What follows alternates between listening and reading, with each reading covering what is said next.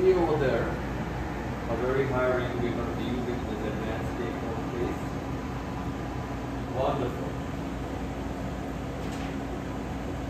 Perfect. Lovely.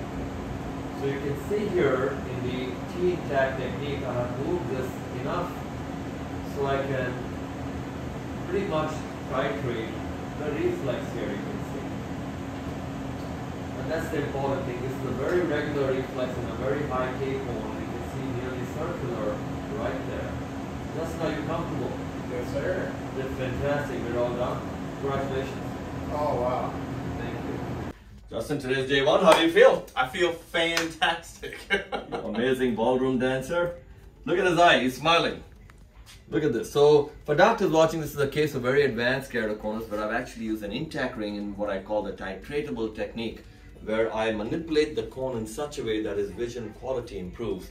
And given this young man his life back, he's, a, he's an amazing ballroom dancer, cannot jeopardize his eye with transplants, cannot weaken his eye, and yet want to give him vision long term. Justin, anything you want to say today's day one? Any pain, anything at all? so zero pain. Um, what I was talking about with Dr. Gulani was that um, he has an amazing ability to command a an operating room.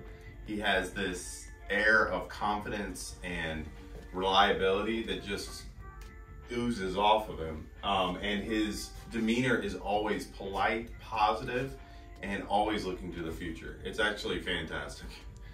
It's my pleasure again. Enjoy and yes, Yeah, go ahead and do your fun stuff that Let's- you do. Cool. That your pleasure. Come on.